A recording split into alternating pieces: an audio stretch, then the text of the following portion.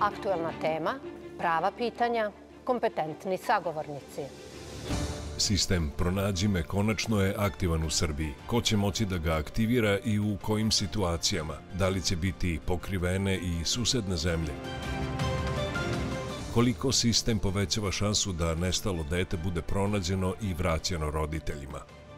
Kakva je uloga državnih institucija i medija, a šta sami građani mogu da urade kako bismo bili što efikasniji. Za nas govore osnivač fondacije Tijena Jurić i direktor Centra za nestalu i zlostavljanu decu Igor Jurić, pomoćnik sekretara MUPA Srbije, pukovnik Milan Andrić, psiholog Dušan Vuković. Signali, petak 8.05 uveče, RTV 1.